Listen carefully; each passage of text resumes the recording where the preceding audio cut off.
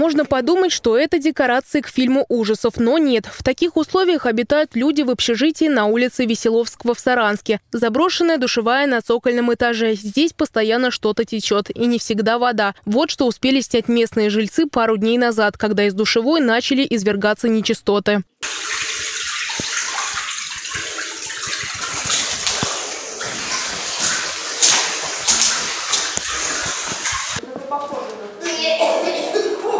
Вот душевой, посмотреть на первом этаже, там вообще караул, что творится. Вообще никто не, уби не убирает.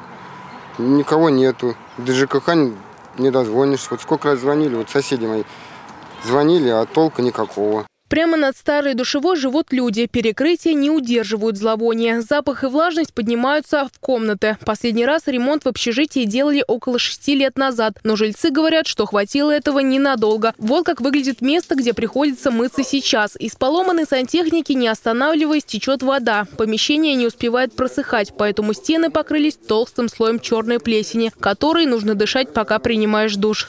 Во-первых, у нас моются дети здесь. Дышать нечем, Везде запах невыносимый. Ну как вот? Ну что еще сказать? Проблема, большая беда. Если с коммунальным адом местные жители уже практически смирились, то счета за услуги их регулярно возмущают, ведь им приходится оплачивать воду, которой они даже не пользуются. Но дом управления номер три жильцам общежития никак не помогает. Все жалуются, все звонили, а толку никакого. И краны текут, и, и это сколько раз вот обращаемся. Они поставят на два дня кран, за 30 рублей там, за 300 рублей, а списывают по 3000 рублей. И вот куда нам обратиться? Из-за сырости уже трескаются стены и рушится штукатурка. Жильцы боятся, что в один день кому-то не повезет. Одна проблема накладывается на другую, но решать их пока никто не собирается. Ксения Бебинова, Евгений Фролкин. Наши новости.